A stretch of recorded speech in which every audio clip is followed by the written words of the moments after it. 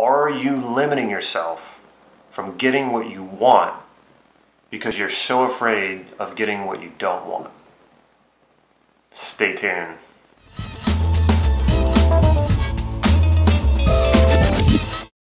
This is Damon Cart from NLP Gym. NLP Mindset Embrace life rather than avoid life. If you haven't already, please click subscribe to this YouTube channel so you can get these videos on a regular basis. Are you avoiding life? Are you so focused on the problems and the feelings that you don't want that you can't enjoy life to the fullest? Are you so concerned about things not going your way that you don't even try? Are you a perfectionist? Do you not want to try things because you're afraid they won't live up to your standard and they won't be perfect? They, they won't be the exact thing that you want. I'm always amazed at how hard people will work to avoid what they don't want.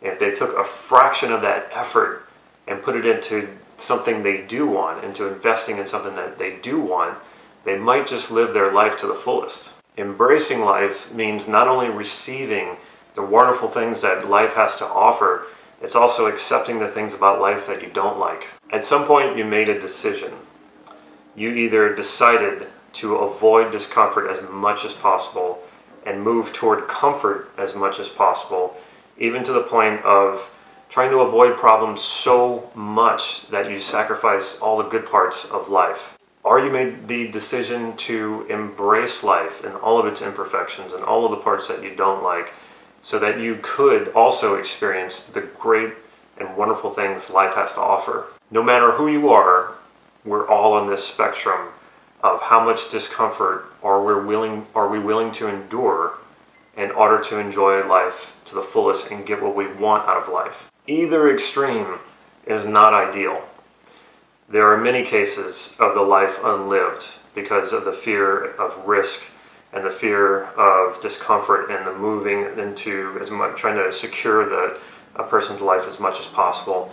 Then there's the other extreme where it was to live fast, live too hard, take too many risks, and the, the misadventure that goes with that.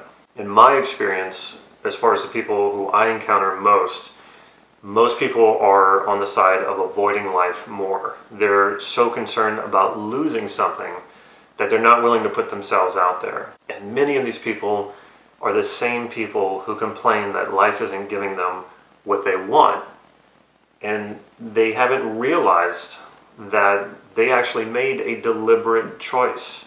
And that's what they chose. And that's why life is seemingly not giving them what they want. The truth is, you don't deserve the rewards in life if you're not willing to take the risk, you're not willing to do the work, and you're not willing to endure the things that aren't so good when you get what you want. Because we often do get what we want. It just often people say, well, careful what you wish for. You just may get it. What they're really saying is, is that, yeah, sometimes I get what I want. I didn't expect there, there, that there would be negative things because in my fantasy, when I got what I wanted in my fantasy, there was nothing negative about it. It was perfect. There was no discomfort. That's not life. Life is always going to have parts about it that you don't like, even when you get what you want.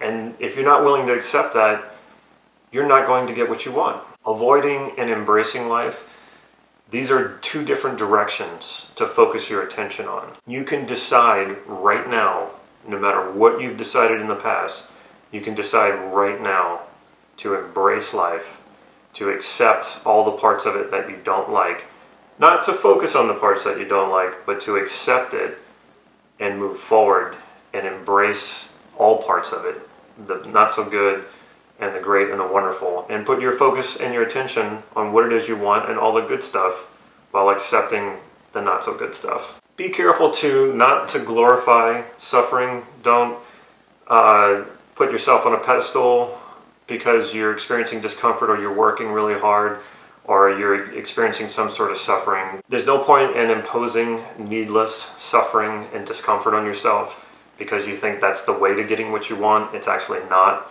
There's also this mindset of demanding from life because you've suffered or because you have some sort of discomfort. Life doesn't owe you anything. And if you have that mindset and you believe that life owes you something, you're going to that's going to ensure that you don't get what you want. Make this a practice. When you come to a decision, ask yourself, am I moving toward embracing life by making one particular decision, or am I moving toward avoiding life? Usually, the decision where you're embracing life the most is going to be the best decision in most cases.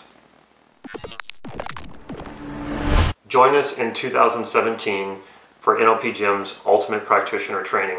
If you're a beginner and you've never had any NLP training, this is the training for you. This is how to master NLP in order to master your life. If you've had NLP training and you feel like you haven't quite gotten into the muscle where it is not quite second nature for you yet, this is also the training for you. Check out our website, nlp-gym.com. There you can sign up for the Ultimate Practitioner Training. This is the most comprehensive training for the least amount of money possible that you will find anywhere in this country with the most talented teachers. Follow us on Facebook for real-time updates on upcoming workshops and free practice sessions that I hold right here in Santa Cruz. If you like this video, please click like right down here and leave me a comment or a question. I will follow up with you. Stay tuned to the end of this video so you can see how you can get your hands on a free NLP online training. Take care.